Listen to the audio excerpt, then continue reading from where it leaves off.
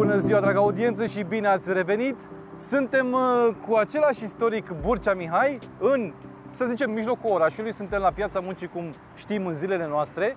Uh, În spate acolo avem pe Nina care o zămiște din cameră, face, am zis mereu că face cea mai puternică treabă, că trebuie să stea mereu cu camera aceea în mână care cântărește câteva kilograme.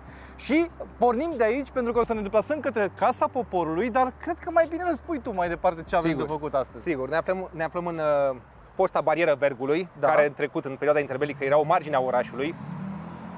Uh, moșia uh, pe care s-a ridicat, s-au ridicat ulterior clădirile, în- aici în bariera Vergului, a aparținut uh, boierului Vergu Bartolomei din secolul XVIII, sfârșitul secolului XVIII. Și uh, de ce ne aflăm în piața muncii? Pentru că uh, de aici, de aici a fost punctul terminus al uh, bulevardului Victoria Socialismului. Începea de la Casa Republicii, Casa Poporului și se oprea în, uh, în piața muncii. La momentul actual se cheamă piața Eudoxiu Hrumuzaki, un uh, istoric și uh, om politic, aristocrat uh, din Bucovina, în secolul XIX, care mili- milita pentru drepturile românilor, dar care, din păcate, este o denumire total nepopulară. Eu n-am auzit până acum pe nimeni spunând uh, Hai să ne ca întâlnim punct de la reper. piața Hai să ne, Hurmuzaki în- sau- Exact, să ne întâlnim ca punct de reper, uh, să luăm piața Eudoxiu Hurmuzaki. Bun, acesta este un, uh, e de înțeles, pentru că toate uh, denumirile cu uh, caracter uh, social, muncitoresc, uh, care au avut uh, co- puțină conotație fa- uh, de, regi- de regimul comunist, au fost schimbate în acel val revoluționar din anii 90. Dar uh, acel val, val continuă, din păcate, și în zilele noastre, acest atac la nomenclatorul stradal. Dacă atunci era de înțeles, era absolut logic să schimbe o grămadă de, legu- de denumiri și uh, titulaturi de străzi și bulevarde care aveau legătură cu personalități ale regimului comunist. Mă rog, au căzut și multe denumiri care nu aveau legătură cu personalități, dar aveau legătură cu, această, cu domeniul social.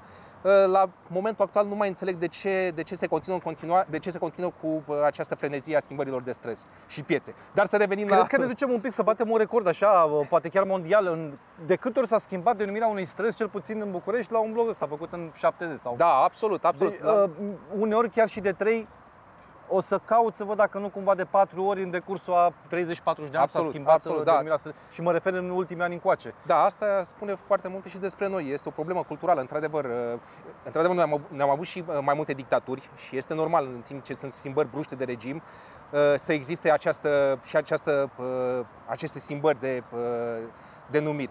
Dar uh, pentru că în Franța, de, de pildă, sunt străzi care datează de la, din timpul Revoluției franceze, adică avem o, uh, o continuitate de- de-a lungul secolelor. Exact. În fine, În fine. bun, suntem Uh, uh, dar la nu, momentul nu care cumva s-a făcut în două etape? da, Sau ne s-a spui făcut tu în, de, asta? da, da, s-a făcut în mai multe etape. Da, planurile, uh, planurile inițiale nu au prevăzut uh, uh, străpungerea până la, uh, până la piața muncii. Ok, Pla- deci planurile undeva la piața fost, Alba Iulia da, se cam inițial voia a în fost până la prima Nerva etapă. Traian uh, și după aia de la- și de la Nerva Ok. Traian până la Cornul Caprei, actuala uh, piața Alba Iulie. Și abia de la, uh, din 87, uh, Ceaușescu a dat dispoziție să, ca lucrările să continue prin străpungerea și acestui segment, adică să se ajungă la șoseaua Mihai Bravo, la uh, piața muncii, la acea vreme. Și uh, de ce spuneam uh, să ne oprim un pic uh, asupra acestei piețe? Pentru că avem uh, edificii care datează din uh, timpul a trei dictaturi. Deci avem, mai mult, avem trei straturi de istorie. Ok, într-o bucățică Uh, mică. Într-o bucățică mică, da, exact. Avem aici în spate, avem uh, Ateneul Vergul, Ateneul, Ver- Cine, Ateneul și Cinema Vergului, Ok. E o clădire ridicată pe uh, planurile arhitect, celebrului arhitect Marcel Iancu, unul dintre cei mai uh, reputați arhitecți din perioada interbelică și care a lăsat numeroase clădiri uh, uh, Art Deco în, uh, în București. Și aceasta ar, fi, uh, ar trebui să fie restaurată și recondiționată, dar din păcate nu este clasată pe lista monumentelor istorice.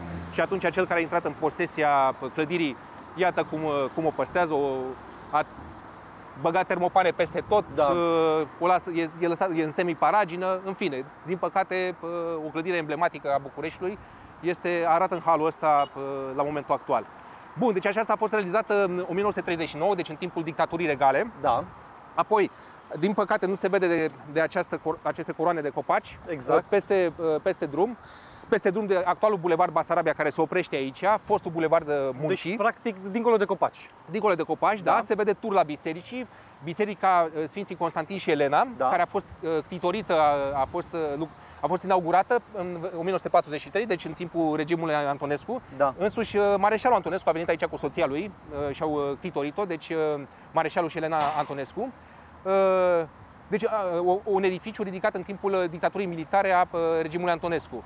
Ea a fost uh, ridicată și prin contribuția, prin subscripțiile, prin subscripția uh, coordonarea subscripției de către celebrul uh, medic, chirurg Victor Gomoiu, Uh, care într-adevăr a făcut parte, a fost ministru al sănătății în uh, două guverne de extremă dreapta, în, în toamna anului 1940, în septembrie 1940, dar care a avut și un rol, uh, a fost și un, inaugura, un deschizător de drumuri în această direcție a serviciilor publice medicale. Pentru că vis-a-vis de Sfinții Constantin și Elena, deci vis-a-vis, pe bulevardul Basarabia, acolo bulevardul Basarabia, da la 100 de metri de aici în față se găsește spitalul, uh, actualul spital Victor Gomoiu, care a fost ridicat de uh, medicul uh, Victor Gomoiu, tot prin subscripție publică și prin relațiile sale, prin uh, eforturile sale, și a fost ridicat, este Spitalul de Copii Victor Gomoiu, deci un pic în stânga, uh, aici în sus pe Bulevardul Basarabia. Ca mai departe să fie patinoarul. Da, ca mai departe este tot pe da. Bulevardul Basarabia, mai departe fostul patinoar, pentru că postul. și acum se dorește refacerea lui, dar de 5 ani de zile nu reușește să ridice un patinoar. Uh, și mai trebuie să spun ceva, dar într-adevăr Victor Gomoiu a, fost, uh, a făcut parte din, niște, de, din două guverne de extremă dreaptă, dar tot Victor Gomoiu a militat pentru readucerea evreilor din Transnistria, Uh, deportați de, uh, de Mareșalul Antonescu și chiar uh, a rugat-o pe regina Elena să, să-l aducă pe, a intervenit personal pentru aducerea marelui cărturar din Basara, marelui cărturar Barbu Lăzăreanu, care a fost deportat de, din, în Transnistria de către regimul Antonescu și a fost readus prin strădanile pe reginei Elena. Iar aici avem Aici, pe partea cealaltă, deci intrăm pe șoseaua Mihai Bravu, avem pia- piața muncii, fosta, fosta piața muncii, care a fost sistematizată în anii 80. Lucrările de construcție au început în anul 1986. Pentru că pe aici probabil că erau case. Da, erau case, da, erau case, adică da. Sigur, nu sigur, probabil, da, da, da, erau case, într-adevăr. Aici, de sub, sub noi, se află stația de metrou Piața Muncii, care la fel era o stație de metrou pe magistrala a treia la acea vreme. Magistrala a treia a fost ridicată în perioada 1986-1989, deci în decurs de 3-4 ani de zile. Da. Uh, ea lega uh, uh, stația, punctul de plecare era stația Dristor, Dristor 2, actuala Dristor 2, și stația finală era pe gara de nord, pentru că gara Basarab, următoarea, gara, următoarea stație a fost ridicată abia în anii 90, deci în prima jumătate a anilor 90. Și piața muncii a fost, la momentul începerii lucrărilor, la acea vreme era un, era un pasaj, acolo pasaj pe piața muncii, iar tramvaiul trecea prin pasaj. Ok. Ori acum vedem că tramvaiul, liniile de tramvai sunt deasupra, da. scoase da? pe, pe deasupra, pe marginea pasajului. La fel s-a întâmplat și la piața Bucurobor, la Bucurobor, unde liniile au fost scoase pe marginea pasajului, iar metrou a trecut exact prin, prin inima pasajului. La Obor, acum 10 ani s-a revenit la forma inițială, în sensul că uh, liniile de tramvai au uh, fost uh, readuse deasupra pasajului da. și atunci au fost eliberate căile de acces laterale. Din păcate, la, sau din fericire, de ce spun din păcate sau din fericire, depinde cum privim lucrurile. Depinde cum privești, da. Da, pentru că pe acest loc pe unde ar trebui să treacă liniile de tramvai, da. Da, prin mijlocul pasajului, la momentul actual avem uh, arbori, uh, avem copaci și avem, verde, da. Da, avem un scoar verde și având în vedere faptul că București este total restant la capitolul spațiu verde în, în Europa, pe, pe ultimele locuri în Europa, orice oază de, de verdeață în București este de apreciat. Într-adevăr, da. cei, care sunt, cei care sunt șoferi ar prefera fluidizarea traficului și readucerea liniilor de tramvai prin mijlocul pasajului, tocmai pentru a elibera încă o bandă pe marginea... Bine, circulație mare nu prea Nu prea este, nu prea dar dimineața fi, se mai aglomerează. Se mai aglomerează. Pleacă, pleacă Cred că singura problemă e acolo când tramvaiul încearcă să-și da, când, linia. Exact, da, asta acolo e, asta e problema. Da, acolo se da. gâtuie se, exact, exact. la bifurcare, la ieșirea din pasaj. Uh-huh. Și astfel cum, depinde cum privim lucrurile. Da. Bun, și uh, avem aceste blocuri, au fost ridicate către sfârșitul anilor 80-90 și, și începutul anilor 90. Deci ele nu au fost finalizate chiar la momentul, la momentul Revoluției din decembrie 89, nu erau unele dintre ele nu erau finalizate. Adică chiar și asta oare? Chiar și, chiar și astea de aici, da, Pentru da, da. La au fost... știu sigur că când... Da, da, da, da, da. dar da. Cele, cele de aici au fost finisate cum ar veni în 90-91, în perioada okay. imediat următoare. Okay. Deci okay. oamenii nu s-au mutat în ele în, înainte, de 1900, în, înainte de 1990. Da. Și de aici vom pleca din, de aici din uh, piața muncii, vom pleca către uh, uh, viitoria socialismului, către uh, Casa uh, Poporului. Ok, ok. Bun, hai Bun, să continuăm, să mergem. Eu. Da.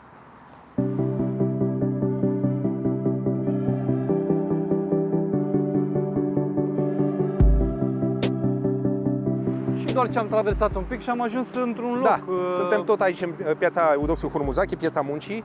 Avem aici uh, o cruce.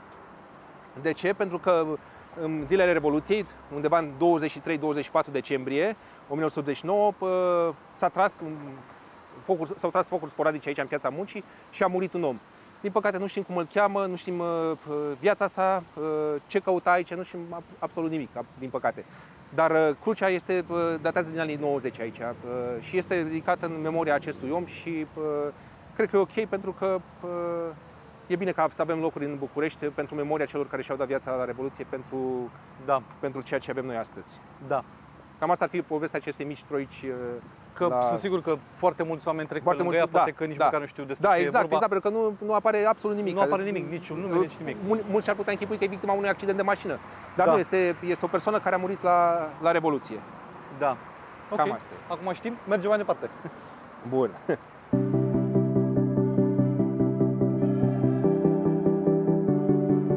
Am cam fi cam la prima intersecție, așa micuță, de la Piața Muncii către Casa Poporului. Da, suntem la intersecția, la confluența străzilor, uh, străzii uh, Țiglina cu uh, Bulevardul Decebal. Da. De ce ne-am oprit aici? Pentru că în momentul uh, în care s-a hotărât străpungerea uh, uh, Vi- Bulevardului Victoria Socialism pentru a ajunge în uh, Bulevardul Piața, Mun- în Piața Muncii, uh, cartierul de vile de aici, parcelarea Raion, creată în perioada inter- ridicată în perioada interbelică, câteva dintre vilele uh, care se aflau pe strada Țiglina ieșeau din aliniament și intrau pur și simplu blocau, uh, uh, blocau uh, viitoarea, uh, care, vi- viitorul bulevard Victoria Socialismului.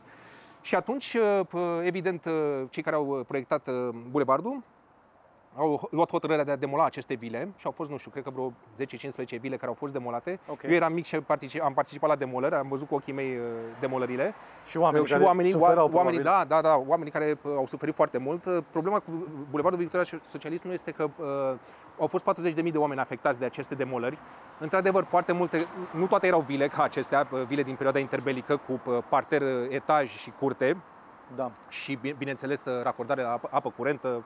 Bun, erau niște facilități uh, avangardiste pentru perioada interbelică și au rămas da. chiar și în perioada comunistă, pentru că uh, apă curentă în uh, foarte multe cartiere din București nu exista, existau cișmele. Da. Ei, ei bine, uh, într-adevăr, existau foarte multe maghenițe care au fost demolate aici, în cartier, pe Calea Călăraș, Nerva Traian, în cartierul evreiesc, uh, uh, în Văcărești, Calea Văcărești și așa mai departe.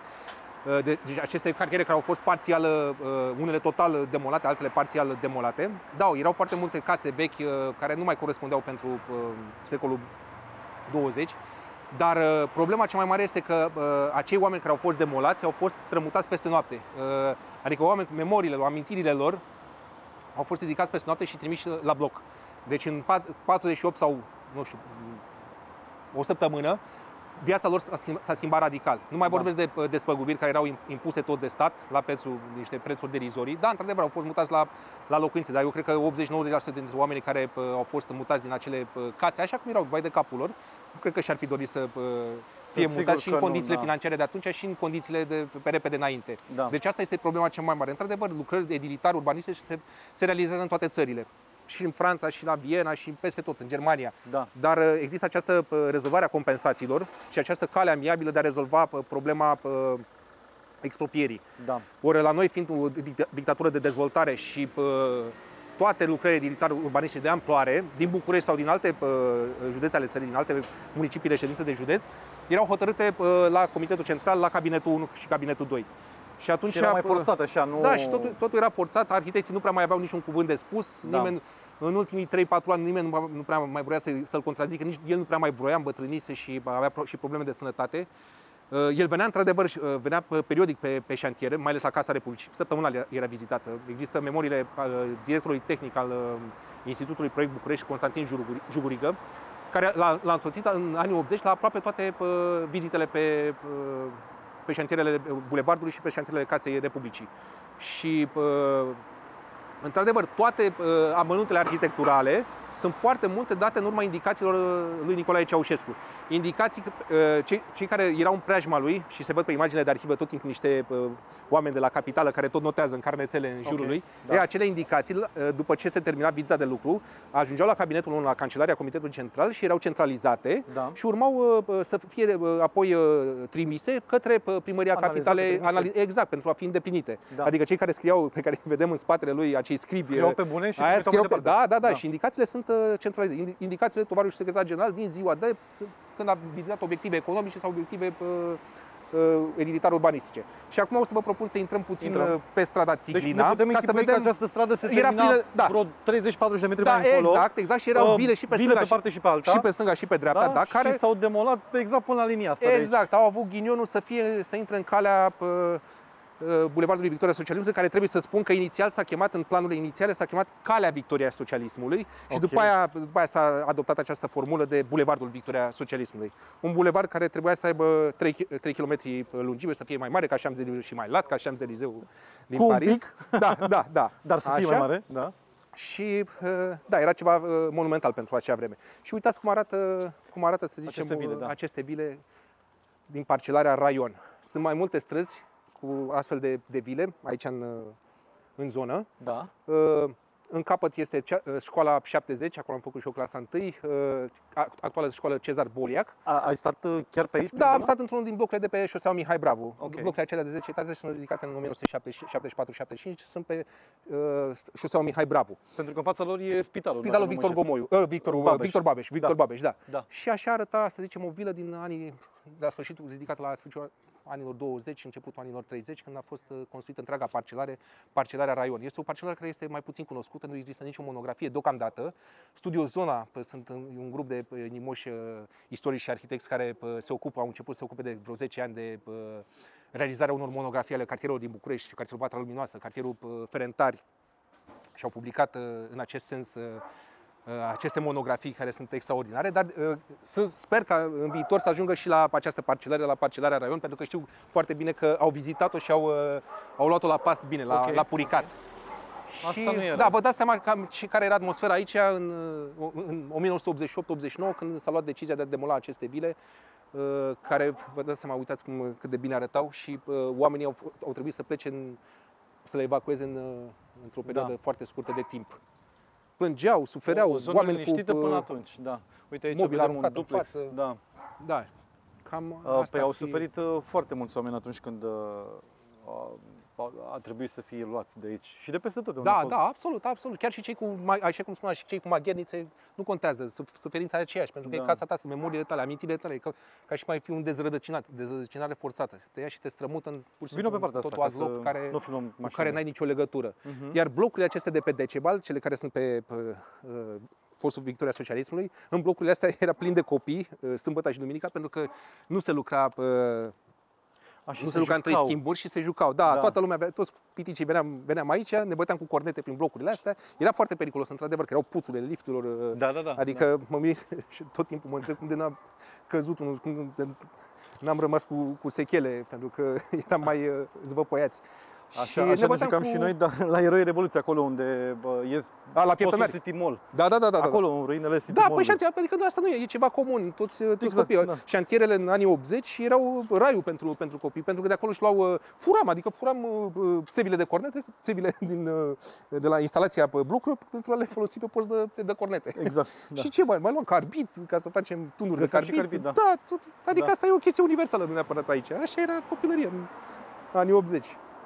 Da, și acum ne îndreptăm. Am intrat din nou pe Bulevardul Decebal. Nu putem să nu observăm că s-a refăcut uh, Da, da, da, da, da. trotuarul și da, da, s-a arată făcut- bine. Da, arată bine, arată bine. Ok, e foarte, foarte bine realizat. Avem și o parcare subterană aici Da. și uh, care a fost realizată Da, nu mai aici. știu, acum vreo 6-7 ani uh, de, municipal, de uh, primăria de sector. Uh, apoi, ce vreau să vă mai spun, blocurile acestea, foarte multă lume spune că, am văzut și pe net, uh, că întregul ansamblu, și Casa Republicii și uh, Victoria Socialismului, ar fi uh, inspira- de inspirație coreană, nord-coreană. Ok. Ori uh, nu este, nu este deloc Nu așa. prea de- seamănă, nu, nu, nu? nu prea seamănă, nu are nicio logică, pentru că la, la aceste uh, blocuri și la Casa Republicii au lucrat pur și simplu uh, arhitecți. Nu e numai Anca Petrescu, care a coordonat colectivul de arhitecți uh, uh, care a ridicat Casa Poporului, Casa Da. Republicii, și sunt mult mai mulți ar- arhitecți. Uh, Ea avea înțelegeri cu arhitecții din acea vreme. Era un tânăr, ea, într-adevăr coordona o, uh, o echipă de tineri arhitecți de la Institutul uh, Proiect Carpați. Uh, și da, în același timp exista și Institutul Proiect București. Existau și arhitecții de la, uh, sfatul, de la Consiliul Popular al Capitalei și ăștia barosanii, greucenii, nu, nu vedeau cu ochi bun pe, pe, pe Anca Petrescu, pentru că ea totuși a fost selectată și unul din motive pentru care a fost selectată este că uh, Ceaușescu vrea să aibă un arhitect pe care să-l modeleze după cum vrea el. Și mergea cu ea. Și evident, da, da, ea, bineînțeles, îl însoțea la toate vizitele. Cred că mergea cu oricine. Dar, uh, dar uh, Uh, nu numai Anca Petrescu, foarte lume crede că Anca Petrescu a realizat întregul centru politic administrativ, care uh, presupune și bulevardul și uh, piața Constituției și clădirile din piața Constituției. Nu, nu este adevărat. Uh, au fost arhitecții, să-i amintesc, Romeo Belea. Romeo, Romeo, Romeo Belea i s-a atribuit sarcina de a face uh, uh clădirea operei, deci uh, Centrul, Cultural de, Național, Centrul Național de Cultură și Creație Cântarea României da. și Biblioteca Națională. Vlădescu a avut, nu mai știu acum ce, ce obiectiv i s-a alocat. Cine au mai fost, doamne? În fine, nu mai, nu mai, nu mai cunosc acum, dar uh, mai multe clădiri au fost afectate pe uh, altor arhitecți, tocmai din acest motiv, pentru că Anca Petrescu nu se înțelegea cu ei, da. ăștia erau cu altă experiență. Bun, și ce vreau să spun este că uh, acești arhitecți proveneau din școala de arhitectură românească, deja erau uh, absolvenți din anii 60-70 și nu avea nicio legătură cu influența coreană. Bun că a fost Ceaușescu în vizită la, în, acea, în acel și periplu asiatic, da, ok. I-a plăcut foarte mult ce se întâmplă evident, acolo, da. A rămas uh, impresionat de da. Uh, spațiile mari. Cultul că, ăsta al, evident, da, a, denumire. Dar așa este al și personalității. În, da, da, da. Dar să știți că pă, toate dictaturile și toate pă, regimurile totalitare au această apetență, dictatorii au această apetență către monumentalitate și pentru da. a marca timpul și epoca. Da. Și Mussolini, la fel, este celebra arhitectură mussoliniană. Uh, Führerul la fel a făcut, uh, a sistematizat uh, centrul Berlinului. Da. Deci asta e un lucru spre Stalin. Este un, o trăsătură specifică pe regimul dictatoriale și totalitare. Da, da. da bun că a, fost, a făcut acea vizită, dar nu are absolut uh, lucrare. Eu nu sunt arhitect, dar nu prea, nu prea văd, văd, văd corespondent în uh, clădirile noastre de aici, de pe Victoria adică și un necunoscut în, poate să se uite să vadă că tot, nu, da, nu, există nu legătură. Păi, de da. exemplu, noi o să ajungem acum în capăt, o să ajungem la Centrul Național de Cultură și Creație uh, Cântarea României, așa s-a chemat inițial, care era, trebuia să fie, lângă, să fie ridicat în, lângă Biblioteca Națională. Da. E acea groapă, celebra groapă. Da, o știm, da. E, păi acolo arhitectul Romeo Belea s-a inspirat din planurile uh, opere din Brisbane, din Australia, da. care fusese aduse de uh, niște copii ale acestor planuri, fusese aduse de șeful cancelariei, CC Silviu, Silviu Curticianu, care îl însoțise pe Ceaușescu într-o vizită în, uh, în Australia. Da. Și, uh, deci, asta, asta e unul, unul dintre exemple prin care vreau să, să spun că nu avea, uh, arhitecții români nu au avut nicio uh, dată uh, vreo apetență către stilul arhitectonic corean sau că au făcut specializări în Corea de Nord sau că au luat de acolo planurile unor uh, deci lucrări. Treabă. Da. Nu, s-au inspirat din diferite, ori din stilul românesc, neoromânesc și așa mai departe, ori din diferite uh, stiluri arhitecturale, arhitectonice din, uh, din, din Occident sau din sudul global. Da. Așa, după, după Revoluție, multe dintre ele erau, mai ales aici în segmentul piața Alba Iulia, piața Muncii. Da. Acestea au fost finalizate ultimele, așa cum am spus, lucrările au început în 1987 la acest tronson. Da. Uh, și au fost uh, finalizate multe dintre ele și uh, date în folosință abia în uh, 1990. E, foarte mulți revoluționari s-au, uh, uh, s-au mutat în aceste uh, blocuri, nu numai aici, pe trons, acest tronson, ci pe întreg global, și la piața, uh, la piața Unirii, da pe Bulevardul Unirii de la, la Fântâni, acolo, acolo erau cele mai răvnite, uh-huh. pentru că alea, alea fusese deja finisate complet, uh, amenajate și uh, erau deja uh,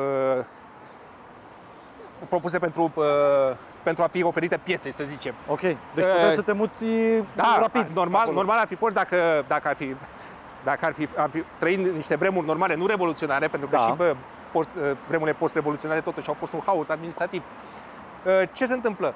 pe acest uh, bulevard trebuiau să se mute funcționarii de partid și de mai, stat. Mai încet un pic, ah. mai încet un pic. Deci, deci pe acest bulevard urmau să se mute uh, funcționarii de partid și de stat, da. care urmau să lucreze în uh, centrul politic-administrativ, adică cei care urmau să lucreze în uh, Comitetul Central, Consiliul de Stat, Consiliul de Miniștri și toate instituțiile centrale urmau să fie mutate în uh, uh Casa Republicii, în Casa Poporului, da. inclusiv în clădirile din jur, tocmai pentru ca Ceaușescu să aibă această centralizare, să aibă sub control toate uh, instituțiile și să aibă acolo pe toți demitarii. Și, uh, bineînțeles, aceste instituții trebuiau populate cu funcționari, ori uh, acei funcționari trebuiau să lucreze în apropiere, nu puteai să-i, să-i lași să vină la, la muncă din diferite zone ale orașului. Și atunci trebuia să ai control asupra tuturor, și a demitarilor și a funcționarilor. Și fiecare bloc dintre acesta fusese alocat unui minister. Deci, nu știu, mai în față era urmau să se, um, să se, să se mute cei din Ministerul Apărării Naționale. Da. Aici, nu știu, Minister- Ministerul Construcțiilor de Mașini, Ministerul da. Industriei Ușoare și așa mai departe. Bun, după Revoluție, dându-se totul peste cap, ins- ins- pri- principalele instituții s-au dizolvat, Consiliul de Stat, uh, uh, Marea Adunare Națională și așa mai departe. Uh, uh, Bun, deci în toate... uh, Da, uh, aici au schi- s-au, s-au schimbat Și a venit, repartițiile. a venit Revoluția și Da, și s-au- uh, instituțiile exact. s-au dizolvat. Da, exact, instituțiile dizolvându-se și toate repartițiile, care, toate uh, uh, repartițiile acelea care urmau să, să, să, să fie uh, puse în practică, transpuse în, în practică, au fost, uh, au căzut de la sine din cauza, datorită Revoluției, foarte- ceea ce e foarte bine.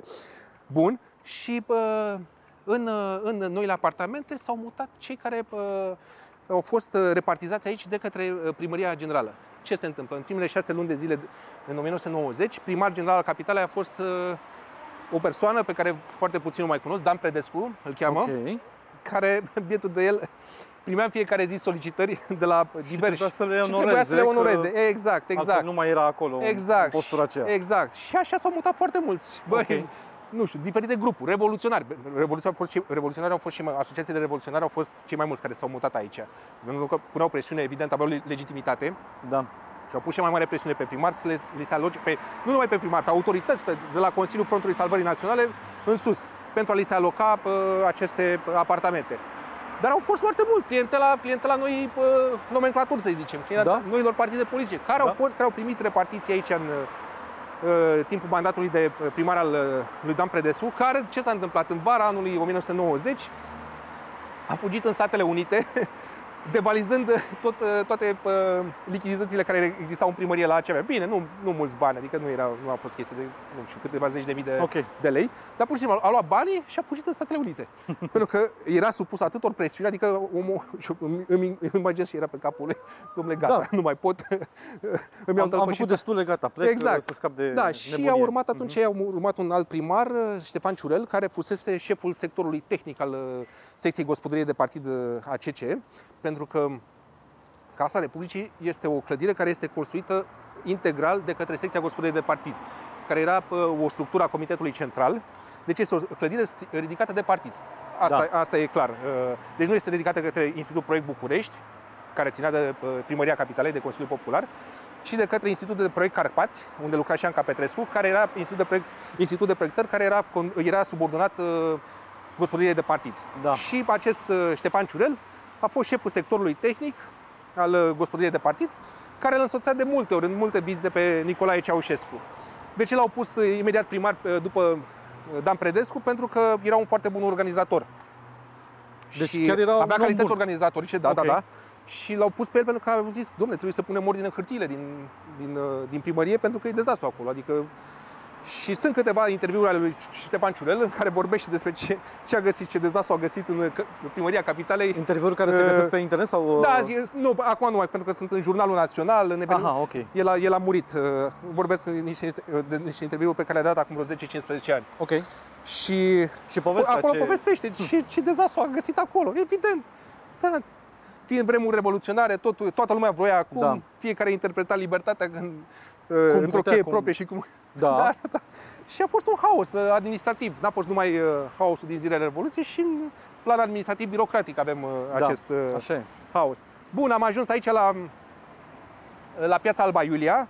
Se cheamă... Rondul de la Alba Iulia, Da, rondul cum- de la Alba Iulia. cum mai este cunoscut. Da, în spatele acestui bloc semicircular Da. uh, se găsește o stradă care se cheamă Cornul Caprei și uh, în documente și în mărturii și în amintirile, memoriile foștilor uh, demnitari ai uh, partidului care și-au scris uh, amintirile care au uh, realizat volume mem- memorialistice, întotdeauna când se referă la uh, victoria socialismului și la lucrările din, uh, uh, de pe marginea bulevardului, se referă și la acest punct, Cornul Caprei, Așa. pentru că așa era cunoscut în, uh, în documente și în uh, momentul în care Ceaușescu a a luat decizia de a uh, extinde uh, bulevardul și către uh, uh, piața muncii. Deci asta era un punct, așa se chema. Și ca punct de reper s-a luat strada asta care se află în uh, spatele acestui bloc semicircular. Ok. Un bloc care are- e cel mai înalt de pe bulevard, are vreo, nu știu, 12 sau 14 etaje câte are, dar Și oricum care este are cel mai o înalt bloc. priveliște Da, da, da, este superbă. Uh, Ceaușescu chiar nu, nu prea a plăcut pentru că dacă Se mai concura cu priveliștea păi lui sau ce? exact, exact. El când, se, el când ieșea pe balcon în uh, Casa Republicii, Da. dacă blocul mai se, se mai înălța cu încă două, trei etaje, pe atunci Da. era mai înalt ca uh, Casa Republicii și atunci Exact. exista o problemă din punctul da, ăsta da. de vedere. Clar. Și pentru că el nu vrea să uh, fie dominat de nicio clădire aflată în jur, de aceea a, fost, a ridicat și două blocuri uh, la baza uh, dealului Patriarhiei, Da. pentru că turul la Patriarhiei se vedea din uh, Casa Republicii Ah, și din uh, ok. alte puncte ale Bucureștiului. La fel și la mausoleu, ar, uh, acele arcuri ale mausoleului Da. din Parcul Carol, Da. la fel, dacă vă uitați, uh, sunt blocate de un, uh, de un, uh, de un, s- două blocuri, unul lângă altul, care sunt pe Bulevardul Șerban Vodă, tocmai în ideea asta de a masca uh, acea priveliște, pentru că îi săreau un ochi. El Ok. nu vrea să aibă uh, eye contact cu alte clădiri mai înalte. Și plus că avea, nu-i plăcea bă, mausoleul din Parcul Carol, nu, chiar nu i-a plăcut niciodată. A avut o, Mhm. uh, mereu un, uh, un dinte împotriva lui. Dar totuși a rămas acolo. A rămas, da, da, da, Da. da, da, uh, îi, pusese, îi pusese gând rău. Prin 88-89 îi pusese gând rău. Nu, Aha. nu știam că ce să facă cu el. Ok. Că la, la faza asta era. Ok. Dar, uh, dar era luat în colimator, cum s-ar spune. Ok, ok. Așa și bă, acum se cheamă bă, rondul Piața Alba Iulia. Ce vreau să mă mai spun este că, uh, din câte știu eu, uh, la ultimele etaje ale blocurilor de pe Victoria Socialismului uh, se află duplexuri. Uh, Vă spun asta pentru că am fost în două dintre uh, blocurile de, din față, un pic mai în față, Da. și pă, sunt duplexuri, într-adevăr, la ultimele etaje. Deci blocul 5, uh, să zicem, intri într-un apartament la etajul 5, care are scara interioară către etajul 6. Și astfel ai, uh, ai uh, o cameră, uh, salonul îl ai în, uh, la etajul 5, iar următoarele trei camere le ai la etajul 6. Frumos, și deci interesant. apartament duplex cu Da. de patru camere, cum ar veni. Da. Într-adevăr, într-adevăr, este o problemă cu suprastructurarea uh, apartamentelor. De exemplu, în duplexuri ai, uh, a- tavanul este foarte apropiat și ai impresia că uh, te- te afli de fapt într-un adăpost. Uh, Aha. Dacă ești un pic clau- Adică claustrofob, înălțimea, da, bă, înălțimea, e, e înălțimea mică. camerelor este foarte mică, mai ales, Da. în, mai ales în duplexuri și dacă ești un pic claustrofob, uh, s-ar putea să ai o problemă cu, cu înălțimea camerelor. Ok. Și da, într-adevăr, ele sunt foarte rezistente, sunt făcute după cutremurul din 77 și s-au luat în seamă tocmai uh, când, s-au, uh, când s-au proiectat și în ideea asta de a fi uh, foarte rezistente la uh, cutremurile care se anticipau. Și da, și un lucru foarte important trebuie să spun că uh, construcția centrului politico-administrativ s-a luat uh, după după cutremurul din 77, deci a fost un prilej bun al lui uh, Nicolae Ceaușescu, un pretext bun cutremurul Exact, din 77 da. pentru a-și uh, pune în, uh, în practică Și a planurile dus pe care le avea. amprenta și mai, uh, și mai adânc. Da, el avea, el, el avea mai de mult uh, ideea asta de a, de a sistema Bu- Bucureștiul. De Da. a, uh, într-adevăr, erau, erau, uh, erau foarte, foarte multe cartiere uh, în anii 70, la acea vreme, uh, care arătau jalnic, într-adevăr. Adică Da. Trebuie să spunem lucrul ăsta.